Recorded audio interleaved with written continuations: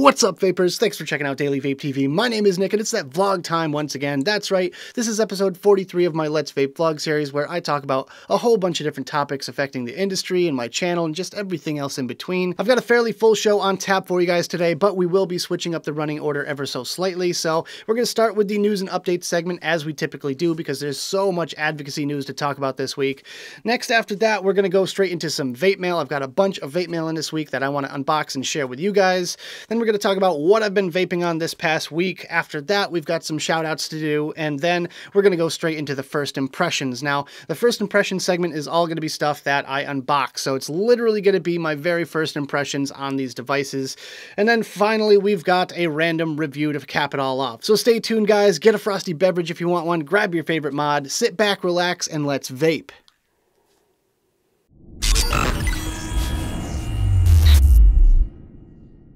So I'm just going to go ahead and tackle the toughest topic first, which is the San Francisco flavor ban. Now, I'm sure a lot of you have already heard the news that San Francisco has kicked off the prohibition on flavored vapor products with their ban on flavors. The only thing you'll be able to buy in San Francisco now is tobacco flavor. They even included menthol flavors in this ban. So with that, I'm just going to read this article in front of me here real quick. It says San Francisco has voted overwhelmingly for an outright ban on all flavored e-liquids, a move which could be mimicked across the country.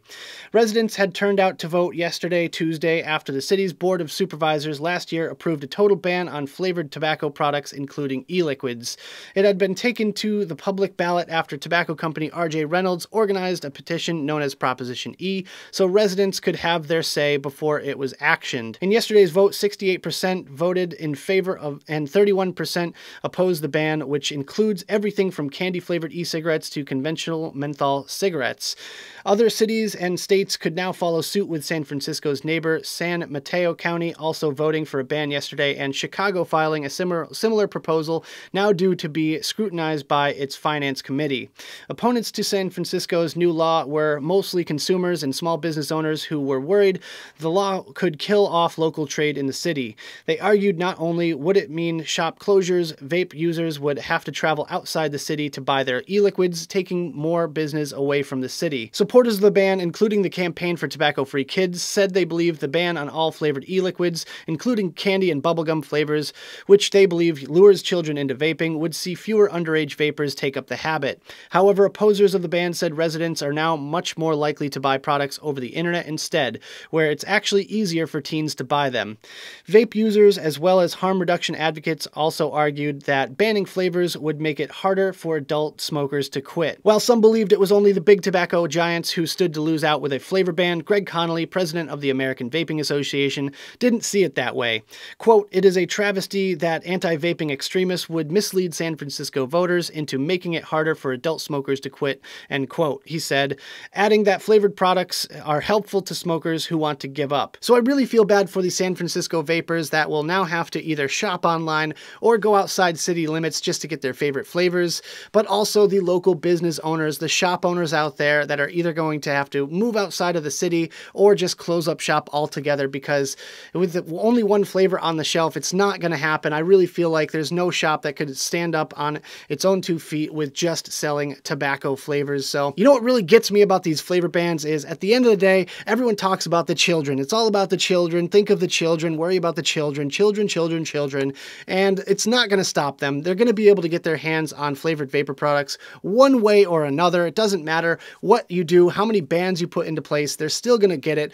And with that, it's going to also hinder adult smokers from the ability to try flavored vapor products to help them quit smoking traditional cigarettes. So this isn't going to help. Unfortunately, San Francisco is so narrow minded and they're using these spun numbers and spun information to kind of attack us as a vapor industry. So 10 Bucks says the advocates for the vaping industry have already started strategizing a plan to get this ban removed. And with that, this is definitely not the end for San Francisco. I still have a lot of faith that we can get this turned around and we can get this law changed. But with that, only time will tell. And I just want to hear your guys' thoughts about this whole situation down there in the comments box. Speaking of flavor bans, the New York State flavor ban is going to the Senate. Now, I do have an article here to read you guys real quick. It says, among the legislative bills awaiting action in the final stretch of the state legislative session is one that affects the vaping industry. State lawmakers are considering a ban on flavored vaping products. The bill A8688 would prohibit the sale of flavored e-liquids and flavored e-cigarettes. According to the memorandum in support, this bill would eliminate the temptation for young people in New York State to try flavored electronic cigarettes and in turn reduce the number of people who become regular users of tobacco products. Brian Ellis is Vice President of Operations for Yeti Vape with six stores regionally. Ultimately, the state wants to eliminate the sale of any flavor other than menthol or tobacco. His company currently sells about 160 flavors. This legislation would kill about 92% of our business. Only about 8% of sales are tobacco or menthol, he says. I'm sure they're trying to make this less appealing to kids, Ellis said. We've already taken steps to combat underage kids from getting our product with increased age verification protocol. We have a scanner that takes the barcode off the back of an ID. We also have electronic ver age verification on our website to make sure the customer is of legal age. The vaping retailer offered this perspective. It would be almost like walking onto a car lot and the only two models you see are a two-door sedan and a four-door sedan. No more sports cars, no more SUVs, no more utility trucks, said Ellis. He has found that people often start with a tobacco or menthol flavor, but ultimately they move on to a flavor such as strawberry or custard.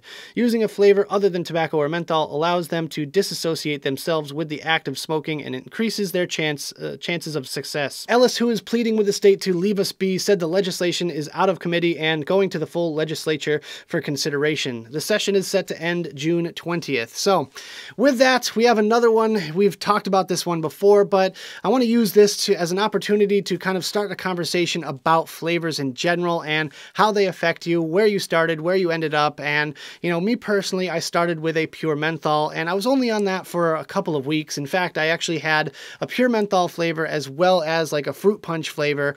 And I wanted to try, you know, a little column A and a little column B. I tend to, uh, to gravitate more towards the menthol flavor at first because it was what I was used to, but then I slowly started to kind of introduce the fruit punch into that equation, and eventually I was vaping nothing but fruits with a little bit of menthol, and after that I decided to drop the menthol altogether. So I want to hear from you guys though, did you start on a tobacco or menthol and moved over to something else, or did you go straight for the candies, fruits, drinks, that kind of thing, all the random flavor combinations that are available to us? I want to just hear from you guys, so just make sure you drop a comment right down there in the box below. But with that, New York State, it is not over yet. You can still contact your legislators.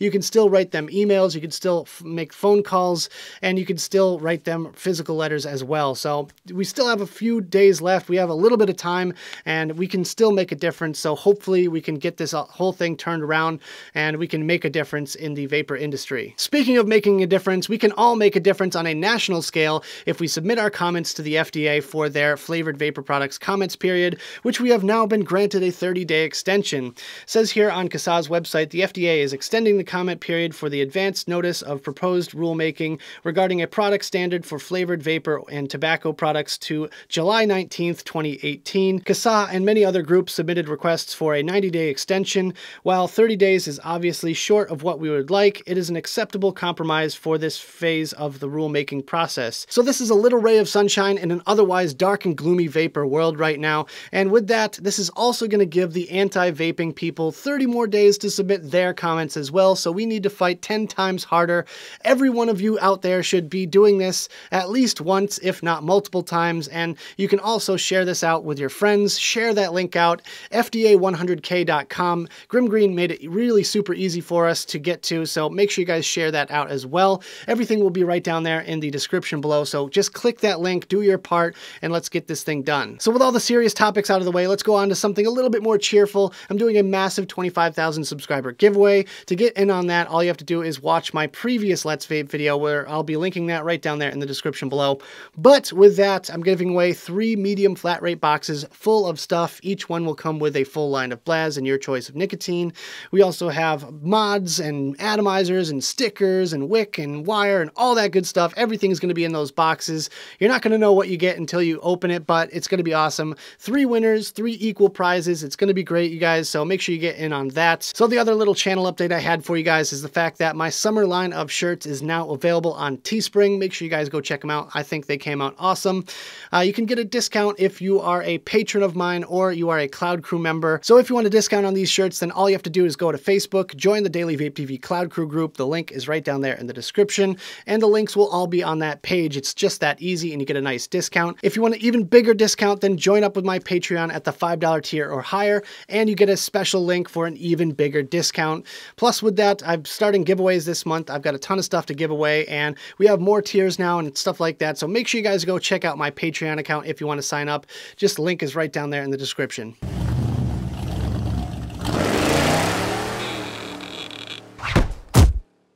All right, guys, it's vape mail time once again. I've got a bunch of stuff to look at here, so let's go ahead and get started. First one is this one here. This is Royal Mail, so it's from the UK. I have no idea what it is, but let's go ahead and take a look, shall we? Oh, yeah. All right, let's see what we got here. Okay, all right, cool. It's the Vaptio Solo F2. Uh, I believe Mike's Mex uh, was using one of these, or was it Jay? I can't remember. They said it was pretty good, so I'm really looking forward to trying this thing out by the end of the show here, so that will be a first impression. Uh, so yeah, that's pretty neat. Vaptio Solo F2. Next thing is another Royal Mail, so we have something else from over there. And uh, yeah, let's see what we get. Yes, I like these packages so much more. Uh, let's see. Oh, Daily Vape TV, that's me. Vape Storm Puma box mod. There we go. We got the Puma. And this is the one that kind of looks like the, uh, looks like the Y mod or whatever it's called. Uh, I forget who makes that one now. All right, what is it? Oh, oh, oh, we got a shirt. We got a shirt. Check it out, guys. We got a shirt. This is pretty cool. I'm digging it. Definitely digging it. I like it. What do you guys think? Next up, we've got a DHL bag. So this is something, I don't know what it is. Gonna have to find out. Gotta love the DHL bags though. Oh man, this thing is taped up really, really good. Let's just rip it. Screw it. Let's see if we can get in here. There we go. See? Use your teeth. All right. Let's see. I think this might be Heaven's Gifts, if I'm not mistaken. We've got the Joyetech Riftcore Duo. I've really wanted to take a look at this one. And the OBS Engine. Engine 2. Engine 2. I believe this is Heaven's Gifts. Don't quote me on that. And Heaven's Gifts, don't kill me if it wasn't you. Sorry about that. I don't know. I can't remember. Too many emails. Next up, this is kind of a heavy one. Uh, so, yeah, let's just take a look. Let's see. Ah, the easy open. Yeah. Boom. FedEx. There we go. FedEx knows how to do it. Oh. Look at that. CoilArt. This is CoilArt. Let's see. Oh, man. Holy crap. There's a lot of stuff in here. Okay. Mage sub-tank coils. Okay. We got a Mage sub-tank. Oh, with mesh coils, yes. We got a little pamphlet thing. Discover your flavor. Mage RTA V2. Uh, let's see. Mage 217 box mod. That's pretty neat. It's kind of a, I wonder, is that a copper? Yeah, it's a copper color. That's neat. Let's see what else we got here. Oh, the black and gold as well. And last but not least, we have another Mage sub-tank. So obviously we'll be doing a giveaway for these as well at some point. And another little sheet, info sheet, if you will. I like that. It's very helpful that they include that kind of stuff because normally I have to search all over the place for that sort of information. And last but not least, boom, another DHL bag. So this one's kind of rattly. It's a big old box. The classic yellow tape of goodness. All right, gonna need my scissors for this one. Oh. All right, chop and slice. Er, er, er. Get in there. All right, what do we have here? Ooh. The Flux Kit by Wotofo. These are cool looking. This is a Rigmod Worldwide uh, collaboration with Wotofo. These things look sick. I have two of them here. Oh, I got the red one too. Oh, man. That looks awesome. I love the paint on there. Really looks sick. Oh, my God. I've got, oh geez, I'm leaking coils here. I'm leaking coils. All right, so we've got some of these Easy Fill Squonk caps. I've really been looking forward to these. Joel's been teasing us on Vape Stew with them, and finally I get my hands on some. Oh man. Uh, wow. Well, we got a whole bunch of Wotofo coils, uh, and one of the caps fell off. Oh, two of the caps fell off. So the coils are all inside the box here. That's a mess. But yeah, we got a bunch of pre-made coils here.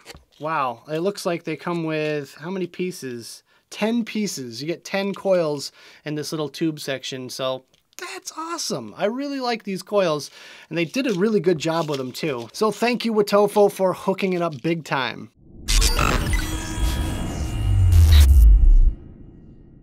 All right, guys, it's time to talk about the setups that I've been vaping on this past week, starting off with this one right here. This is the USV ARC 240 with the CoilArt Mage V2 on top of there. Inside the tank, we've got some of this Hometown Hero. This one is their legit line, uh, Apple Cream Custard. It's a kind of a Fuji apple, which is really darn tasty, let me tell you. So let's go ahead and have a vape on this one.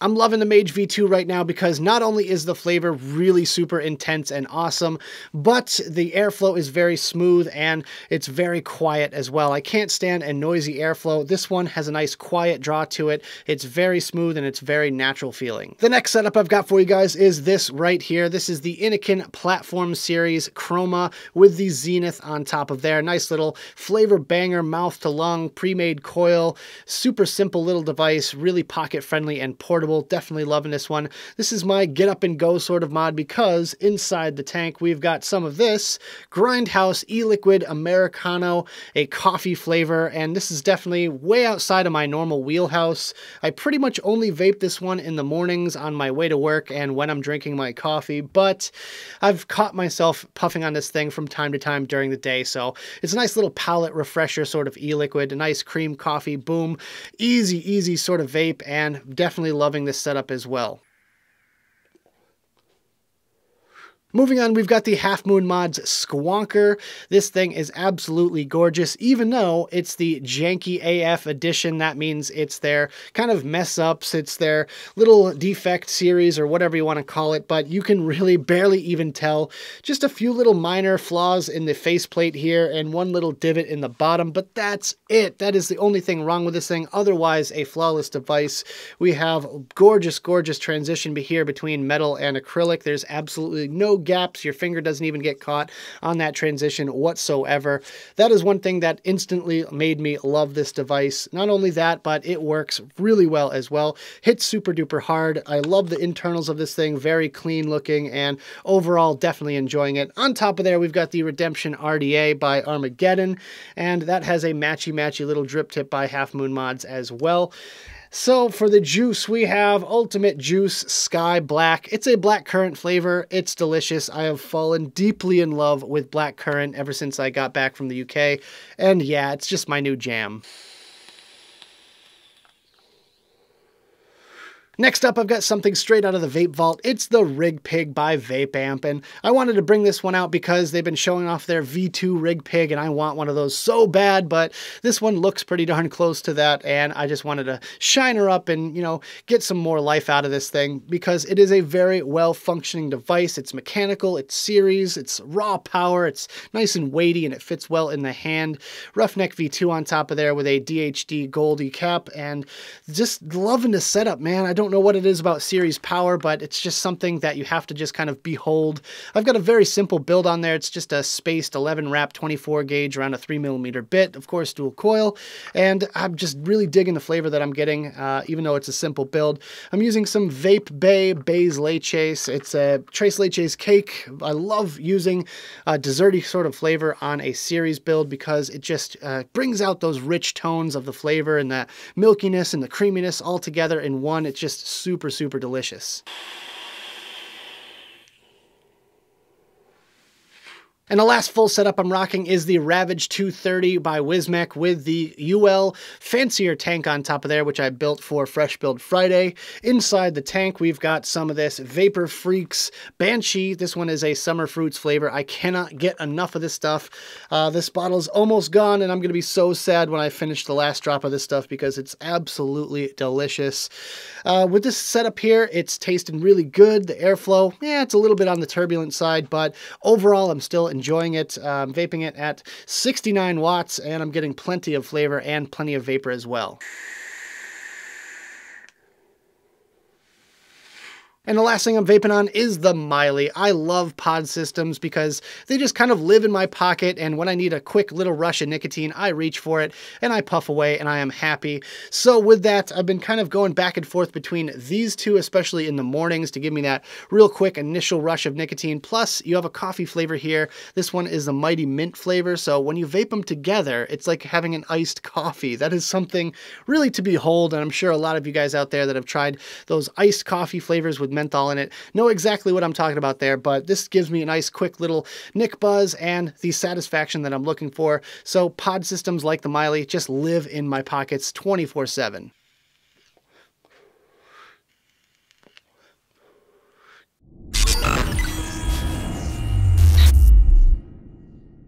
All right, guys, it's shout out time. Time for me to show some love for you guys that were kind enough to write in. And if you want to shout out for yourself, all you have to do is email me, dailyvapetv at gmail.com. Have the subject say shout out request or something along those lines. And then just tell me a little bit about yourself. Tell me your name. Tell me your vaping story. Tell me who you want me to shout out, whether it be you or someone else or anything like that. And that's it. That's all you got to do. I will get to your shout out at some point in time during one of these vlogs. But this week's uh, shout out section is, I guess, sponsored by Vape Stew Discord because last night I told the guys to get their shout out requests in, and then I said goodnight. And well, what do you know? I woke up to a whole bunch of emails from the guys over on the Vape Stew Discord. If you guys want to get in on the Vape Stew Discord, all you got to do is check out the Vape Stew Crew group on Facebook, and the link is in the pinned post there.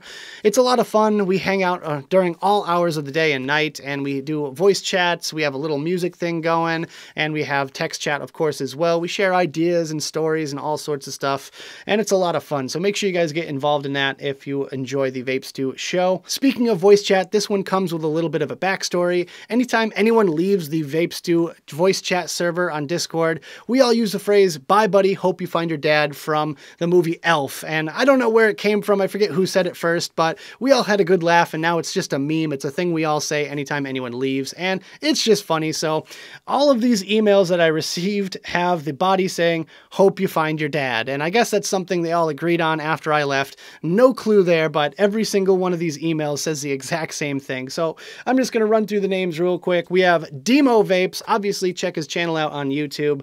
Alden Oreskovich. We have Mark Clow, Chris Snyder, Rob Jones, Denise Smith, Stan, aka Tenacious Texas Vapes. Also check him out on YouTube. Uh, Swaggins Vapor, Steve Romine, Frank Wolf, Keith Highgate, Bob Shorkey, Aziz, and Connie Fellows. You guys are awesome. Thank you guys so much for writing those emails. Definitely cheered me up this morning, and uh, it was def definitely something funny. But with that, if you guys want to get involved with the Discord server, then go check out the Vape Stew Crew group on Facebook. Request to join. Make sure you answer the questions, and the link is right there in the pinned post. It's a lot of fun. Again, we have a blast over there. I get to talk to you guys all the time, and it's just something that we get to do in between Stew shows. So that's all the shout outs I've got for you guys this week. Make sure you get those requests in for next week's video, and let's go ahead and move on.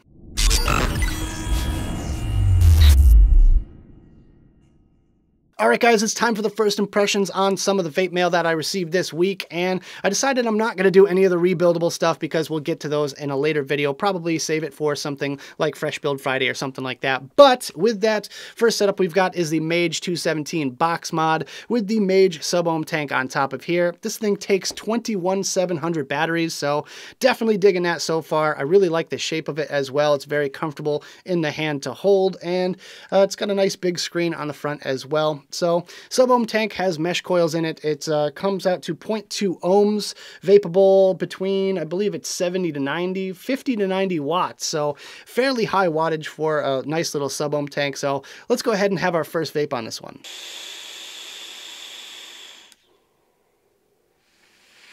So the first thing I notice about this Mage sub-ohm tank is that it's significantly louder than its rebuildable counterpart, the Mage V2, and it's just something that's just kind of noticeable. It's not really that bad, I guess, but it's definitely a noticeable difference between the two devices, and it's still a very smooth sort of vape. It doesn't really feel turbulent at all, which is definitely a good thing for me, and overall the vape is very nice off of it. It's warm, dense vapor, flavor is all there. I'm absolutely digging all these mesh coils lately. It's just something I'm super into but the coil itself inside the Mage sub-ohm tank does look a little bit janky compared to something like the Horizon Tech Falcon or the Fireluke mesh tank.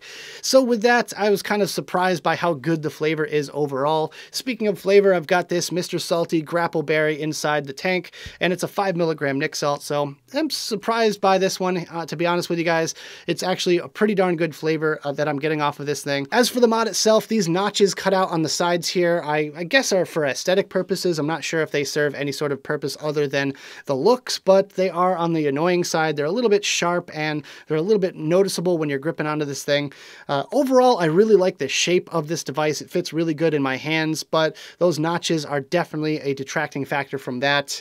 Uh, otherwise, the battery back door is a nice touch. It's a simple little magnetic battery back door, and it just clips on like that. Uh, lately, I haven't been overly impressed with the mods that have the bottom latch style doors, so this is a nice refreshing refreshing change from that. Next up, I've got the Solo F2 by Vaptio to take a look at, and I'm loving the look of this thing overall already. I really like this little dust cap right here because it's magnetic, it's very easy, and it just locks on just like that. Super duper simple, and it just adds that little tiny bit of protection to the uh, drip tip section. So if you have it in your pocket and you got some lint in there or something like that, it's not going to get down inside of this thing, and it just adds that little tiny bit of protection as well. Uh, but otherwise, the aesthetics of this thing are gorgeous. I really like this, uh, this carbon fiber look of the tube section. It's very, very simplistic. It reminds me a lot of the Aspire, what was it, the K2 or the K3 kit. They had this sort of carbon fiber look to it, and I really dig it. It is a little bit on the cheapy feeling side. Uh, it's kind of plasticky, and the button is a little bit rattly, but overall, it's not that bad for something for a beginner vapor, someone that's just getting into it. They're going to absolutely dig this thing.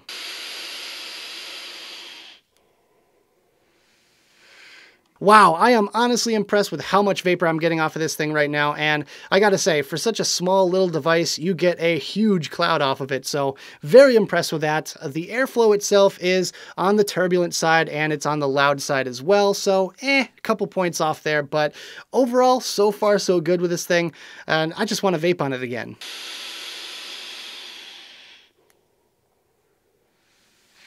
You gotta admit, that's pretty darn impressive from something like this here. But speaking of impressive, the flavor is very impressive. I am loving it right now. I'm vaping some of this Adore e-liquid, not from concentrate, and it's an orange flavor. You get all those really nice, bright, sweet notes of orange. No sort of bitterness or rininess or anything like that. It's very, very good, and I'm really digging this thing right now.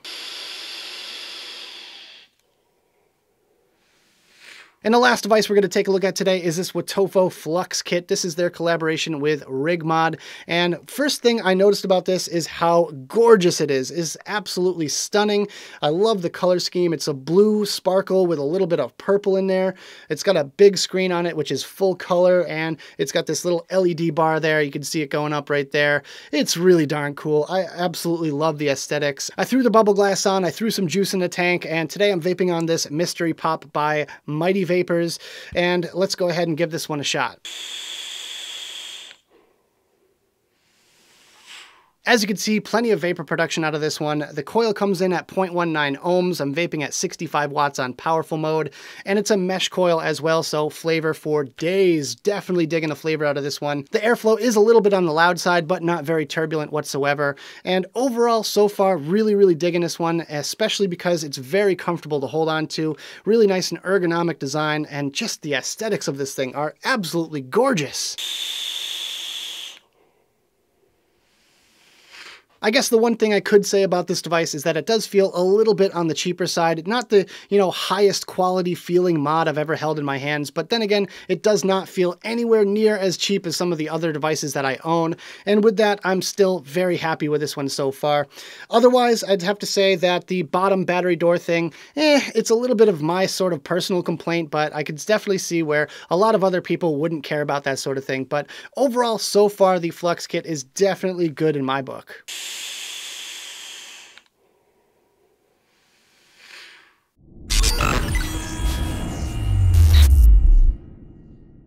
All right, guys, so before we go, we're going to do a random quick review, and today we're going to be looking at Grind Haus E-Liquid Americano. This is described as a smooth, full-bodied dark roast coffee with a splash of cream. I've been vaping on this one on and off for weeks now, and I got to say, I am absolutely in love. I was never a huge fan of coffee flavors because I just couldn't find one I liked until now. This one is absolutely delicious, so let's go ahead and have a vape on it.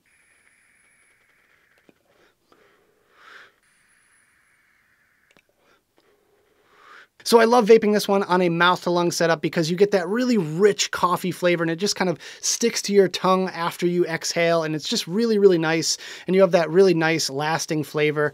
And I swear this one wakes me up in the morning. It must be some sort of placebo effect or something like that, but even the taste of coffee can get you going. So obviously this one pairs up really nicely with a cup of coffee, but you can also pair it up after dinner or after dessert with something as sort of a palate cleanser and or just sort of a relaxing sort of vape.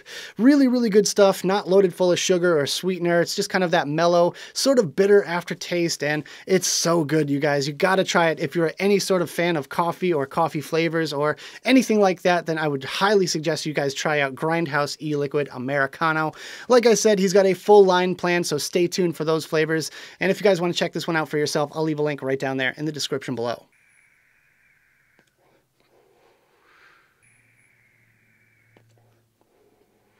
Alright guys, so that about does it for this video. I hope you enjoyed. If you did, make sure you hit that like button and subscribe for more videos just like this. Don't forget to click that notification bell right next to the subscribe button if you want to be alerted whenever I upload videos. Also, leave me some comments in the box below about any of the topics that we talked about in this video. Also, make sure you check out the advocacy and my social media links right down there in the box below. Make sure you guys get your FDA comments in while you still can. We got 30 more days to get those done, so make sure you guys submit your comments to the FDA. But thank you guys so much for tuning in, and as always, vape on.